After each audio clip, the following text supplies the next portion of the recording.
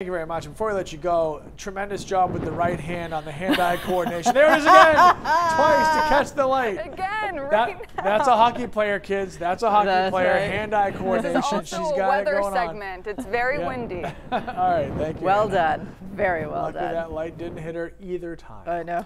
All right.